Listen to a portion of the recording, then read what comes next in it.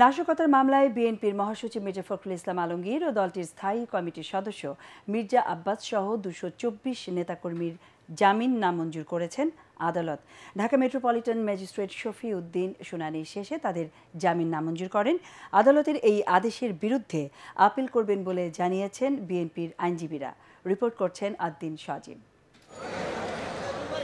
জামিন শুনানির নির্ধারিত দিনে আদালতে বিএনপি নেতাদের পক্ষে যুক্তি তুলে ধরেন তাদের আইনজীবীরা। তারা বলেন, ঘটনার দিন নয়াপল্টন বিএনপি কার্যালয়ের সামনে নেতাকর্মীদের সাথে পুলিশের সংঘর্ষের ঘটনায় গ্রেফতারকৃত নেতারা জড়িত নয়।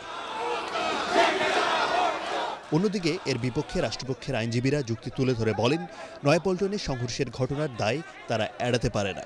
আসামিদের বিরুদ্ধে নাশকতার সুনির্দিষ্ট অভিযোগও রয়েছে।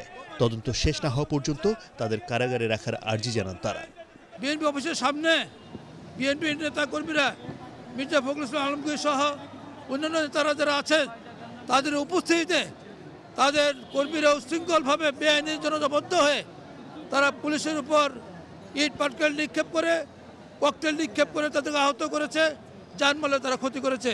আদালত দুপক্ষকে শুনে মির্জা ফখরুল ইসলাম আলমগীর সহ দুশো জন আসামির জামিন নামঞ্জুর করেন।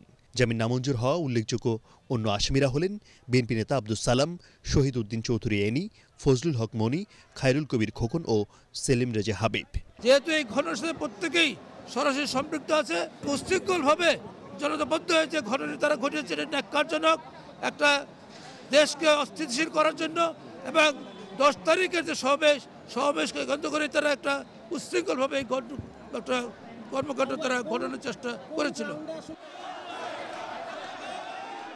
আদালতের এ আদেশের বিরুদ্ধে আপিলের কথা জানালেন বিএনপির আইনজীবীরা।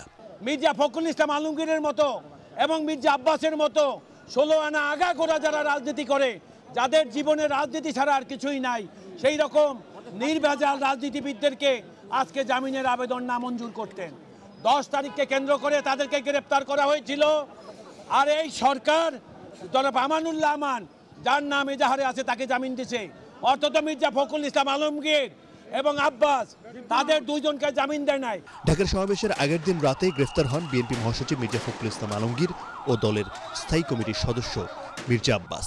ডিবি কার্যালয়ে জিজ্ঞাসাবাদ শেষে তাদের নাশকতার মামলায় নির্দেশদাতা হিসেবে গ্রেফতার দেখানো হয়। সাত ডিসেম্বর, নয়াপল্টনের সামনের রাস্তায় সংঘর্ষের ঘটনায় একজন গুলিবিদ্ধ হয়ে নিহত হন, আহত হন অনেকে। এ সময় বিএনপি কার্যালয়ে অভিযান চালিয়ে চাল ডাল পানি, নগদ টাকা ও ককটেল ও বিস্ফোরক দ্রব্য উদ্ধার করে পুলিশ। আব্দুল সজীব এটিএন বাংলা, ঢাকা।